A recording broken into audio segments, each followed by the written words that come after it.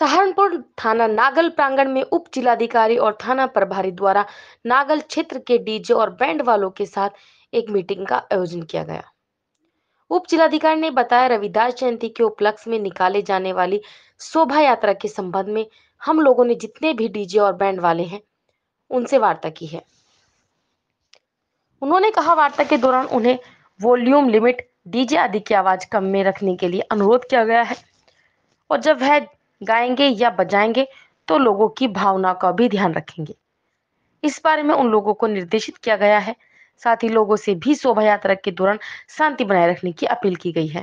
संवाददाता मनोज मिड्डा की खास रिपोर्ट। शोभा यात्रा के संबंध में हम लोगों ने जितने भी डीजे बैंड हैं, उनसे वार्ता की है।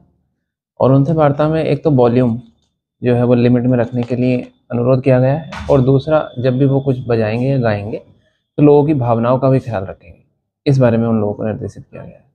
धन्यवाद। अपने आसपास की खबर देखने के लिए चैनल को लाइक व सब्सक्राइब ज़रूर करें और ज़्यादा से ज़्यादा खबरों को शेयर करें।